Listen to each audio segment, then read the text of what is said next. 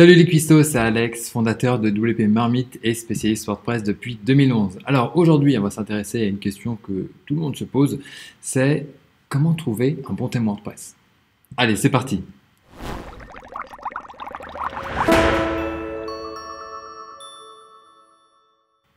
Alors déjà, la première question à se poser, c'est qu'est-ce que vous voulez? Qu'est-ce que vous voulez vraiment?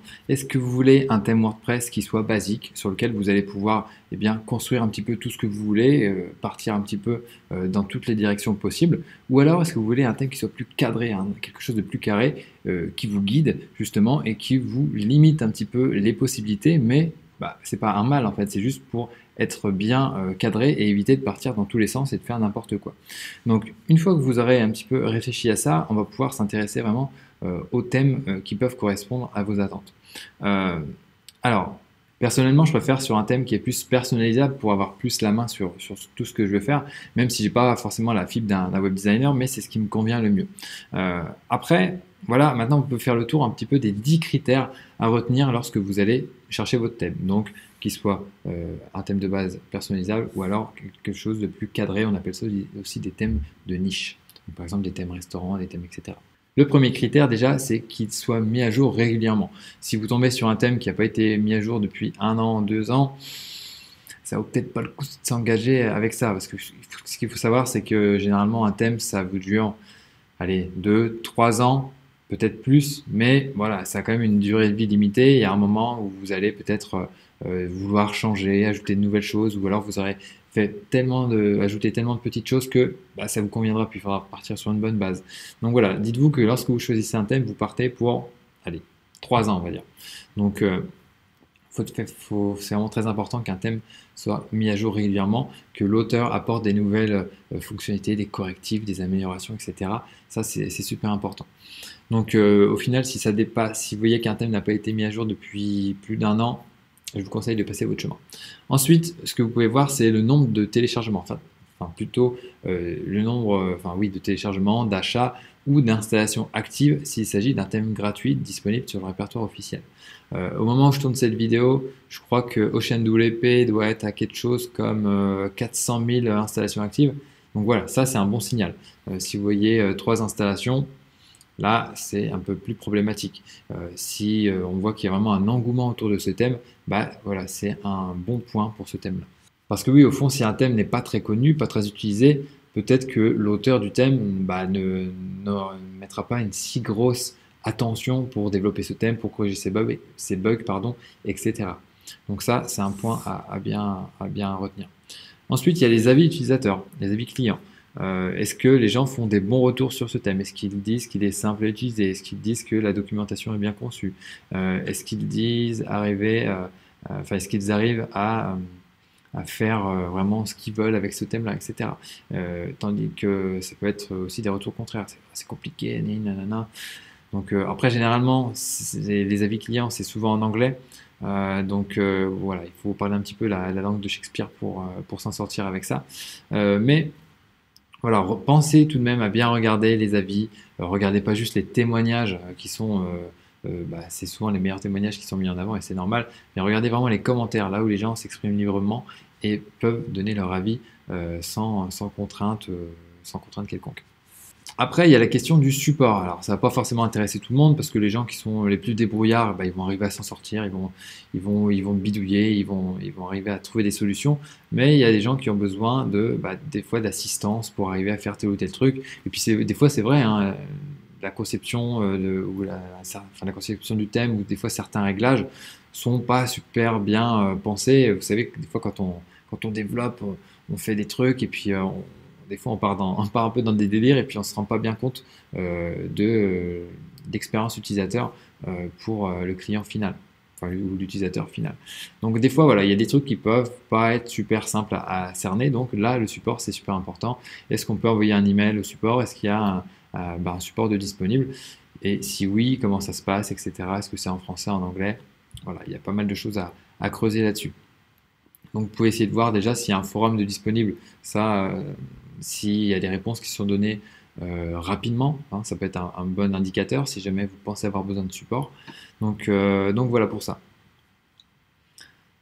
Ensuite, bah, ça rejoint un petit peu le support, c'est la documentation. Est-ce que l'auteur du thème a prévu une documentation, des euh, documentation de texte, euh, des tutos vidéo euh, Est-ce qu'il a prévu quelque chose en tout cas pour accompagner les gens qui commencent à utiliser son thème? Oui, non. Et si vous n'êtes pas trop débrouillard, peut-être que ça vous sera utile. Ensuite, une fois que vous aurez regardé ça, bah, vous pourrez vous intéresser aux options. Qu'est-ce qu'il y a de disponible? Qu'est-ce que vous allez pouvoir modifier? Est-ce que vous allez pouvoir modifier les couleurs, les polices, des mises en page? Euh, qu'est-ce que ça pourrait être d'autre? Euh, Des styles de boutons, etc. Qu'est-ce que vous allez pouvoir faire avec euh, ce thème-là? Est-ce qu'il y a des effets de survol, etc. etc. Est-ce que vous allez pouvoir intégrer des images à tel ou tel endroit?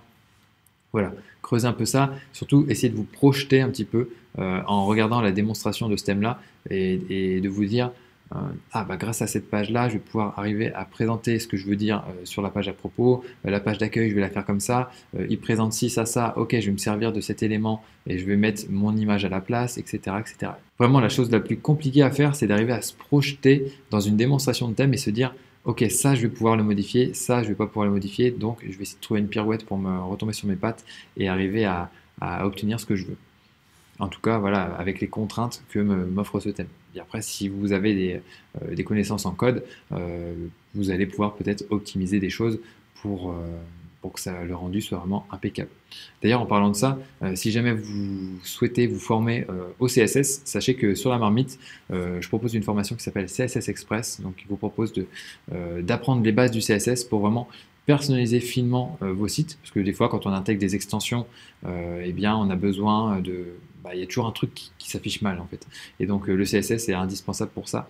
Et donc euh, si jamais vous voulez vraiment avoir un rendu qui soit impeccable, eh ben, je vous encourage à aller jeter un œil à CSS Express. C'est bon, on ferme la page pub, on continue.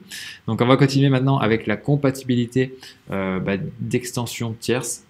Est-ce que par exemple telle ou telle extension est compatible avec ce thème? Est-ce que par exemple WooCommerce est compatible? Est-ce que euh, l'auteur de ce thème a fait un effort pour intégrer WooCommerce ou intégrer telle ou telle autre extension? Euh, Ça, c'est quelque chose à regarder si bien sûr vous avez besoin de cette extension. Ça ne sert à rien de, prendre un thème optimisé WooCommerce si vous voulez juste faire un blog. Mais voilà, vous voyez ce que je veux dire. Donc, euh, quand vous faites vos recherches pour créer votre site, vous dites OK, je vais avoir besoin de telle fonctionnalité, telle extension va pouvoir me l'apporter. Ça affiche quelque chose sur euh, sur l'interface publique du site. Donc, est-ce que ce thème est optimisé pour ça ou alors est-ce que je vais devoir euh, bidouiller après, peut-être avec du CSS comme on vient d'en parler, pour obtenir un, rendu qui soit propre? Donc voilà, regardez ça. Après, en ce qui concerne les constructeurs de pages, ils sont généralement tous compatibles. Hein. il n'y a pas trop de soucis à se faire. Euh, les mentors fonctionnent avec tous les thèmes. il y a quoi d'autre? Divi, bah là, vous, utilisez le thème Divi. Donc au final, vous êtes, chez vous. donc voilà. Euh, pour ça. Euh, alors là, j'ai perdu un petit peu le compte. Euh, j'en suis au combien d'éléments? 1, 2, 3, 4, 5, 6, 7. Ok, on attaque avec le huitième conseil, donc qui concerne la communauté. Est-ce qu'il y a toute une communauté derrière ce thème? Est-ce qu'il y a des développeurs qui font des, extensions complémentaires pour aller un petit peu plus loin? Est-ce qu'il y a vraiment des, forums, des groupes Facebook qui sont vraiment euh, centré sur ce thème. Bah, par exemple, on parlait de Divi à l'instant, bah là oui c'est le cas, il y a toute une communauté, tout un écosystème autour de Divi, donc c'est vraiment un bon point. Euh, même chose avec euh, Astra, même chose avec OceanWP dont on parlait tout à l'heure. là il y a vraiment vraiment tout un écosystème. donc là, on se dit, ok, le truc ne va pas fermer du jour au lendemain. Alors après, euh, avant-dernier conseil, est-ce que euh, le thème est optimisé pour le référencement? Alors ça, c'est une question qu'on pose souvent. Est-ce que c'est optimisé pour le référencement? Mais au final, bon, le référencement, ok, il y a une base technique, mais après, quand on met Yoast SEO, bah, ça fait déjà pas mal de boulot. Et surtout, après, le cœur du référencement, ça se fait dans le contenu et dans les liens, enfin dans le contenu de notre site et dans les liens qu'on est capable de, de générer vers notre site. Donc au final, ok, le code du thème, c'est important, mais je pense que le critère numéro un au niveau du thème, c'est de voir s'il y a une bonne hiérarchie des titres. Est-ce que euh, l'auteur du thème a mis sur, euh, par exemple, la page, euh, une page de page ou une page d'article, le titre de la page ou de l'article en H1, en titre de niveau 1 Ça, c'est important à vérifier. Donc, bon, je sais que vous n'êtes pas forcément tous codeurs, mais dans la description, vous trouverez un petit outil pour vérifier ça. Euh, euh, c'est un outil qui a été proposé par euh, WebRank Info et donc qui, est, qui est plutôt pas mal pour, pour vérifier. Donc, vous mettez une page de démo de thèmes là-dedans et ça vous dira si la structure est bonne.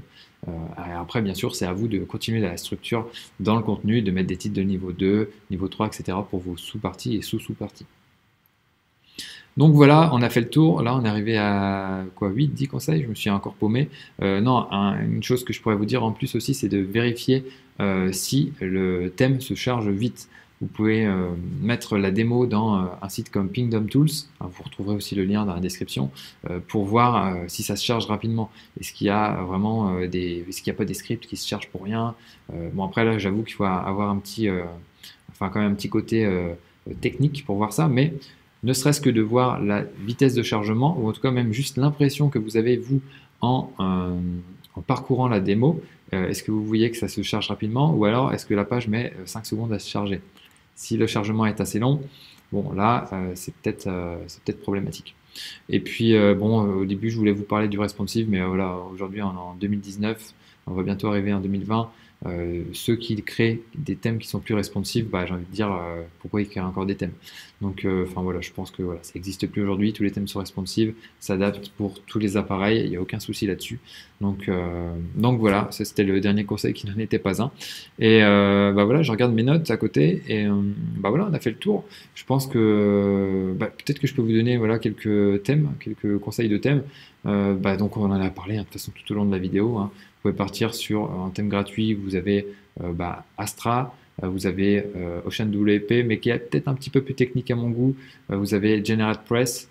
après, en payant, vous avez Divi. Et puis, qu'est-ce que vous avez d'autre en payant?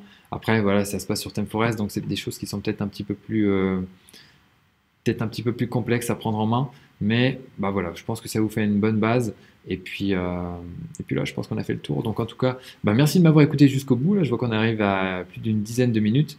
Donc euh, j'espère que vous avez pris des notes. Et euh, bah, sur ce, je vous souhaite bonne chance pour vos recherches. Vous trouverez aussi d'autres liens dans la description, notamment vers des tests qu'on a pu faire sur WP Marmite pour les différents thèmes. Et puis voilà, surtout abonnez-vous à la chaîne YouTube pour recevoir les futures vidéos, mes futurs conseils, euh, les autres séries de vidéos que je peux faire, euh, comme euh, d'Ivoire Alex, Bonjour Plugin, Larsanthème, etc. Et puis je vous dis à très très bientôt dans une nouvelle vidéo. Ciao